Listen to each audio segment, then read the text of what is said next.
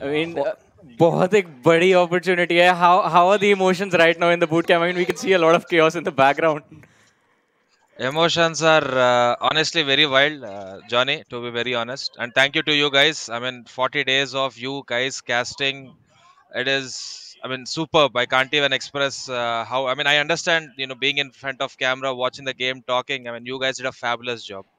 Well, it's all thanks to your team actually who has Yeah. given us these sort of uh, phenomenal plays. And again, that is what makes it so special for us also to just struggle it out. And uh, again, thanks to you and your team, you guys have made it. And now, one question जो हम बहुत time से बात कर रहे थे is that $15,000 तो आ गए trophy भी मिल गई अब जो next step है that is going to be a grand grand moment because no now you move on to APAC itself so उसके लिए there will be any plans that you set up So as I've told on my Twitter as well, we are planning to uh, fly to Thailand to represent uh, the country over there.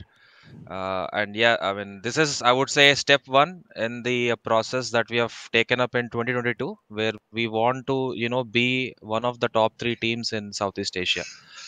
It's we want to be a force to be reckoned with. So it's it's a long road ahead, but this is a step that in the right direction. Definitely. And Anna I have a question for you last time जब हम बात कर रहे थे and uh, हम सबको याद है कि last time you guys were up in the fifth map 2021 के अंदर बीसीसी Yeah. के अंदर. एंड ऑफ़ कोर्स वो जब कमबैक किया था जी ने काफ़ी बड़ा हार्ट ब्रेक हुआ था. बट इस बार आपकी टीम फिर से डाउन थी 11 8 डाउन थी but still the boys manage to finish it out आपको अभी कैसा फील हो रहा है? आपकी टीम कैसा फील सिमर कर रही है? पूछो ये मत सिमर ये सब ये हमको पीछे कर्टन दिख रहा है ना उसके पीछे हम बैठे थे।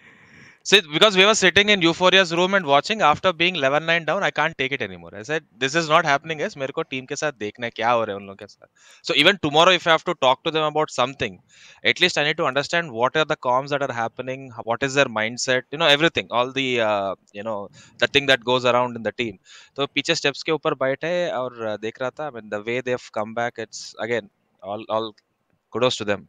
बहुत सरियल मैच था जिस तरह से आपकी टीम ने अभी परफॉर्म किया just an absolutely incredible win and I just want to say once again congratulations for being the champions of world conquerors championship 2022 and congratulations on qualifying for the APAC challengers and we Thank hope you, both the you, teams will make us proud Oh, yes definitely we look forward No, no, to we'll hundred percent. We hundred percent. I was talking to Rishi uh, by also yesterday, and uh, the the target is there to uh, represent in in the best possible manner.